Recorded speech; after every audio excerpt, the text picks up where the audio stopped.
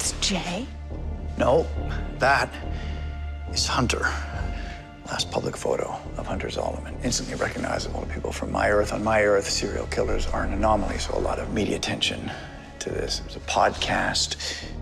When Hunter was 11, his father killed his mother right in front of him. Father sent to prison. Hunter grew up in the foster care system. Years later, he was convicted on 23 counts of murder. 23, that's like some real Hannibal Lecter type level.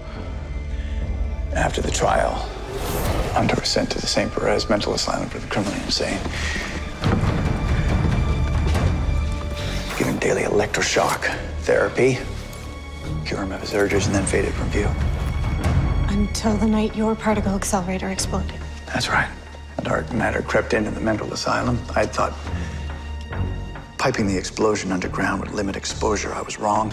All it did was create an unstoppable monster. The Flash, only tonight at 8, 7 central on the CW.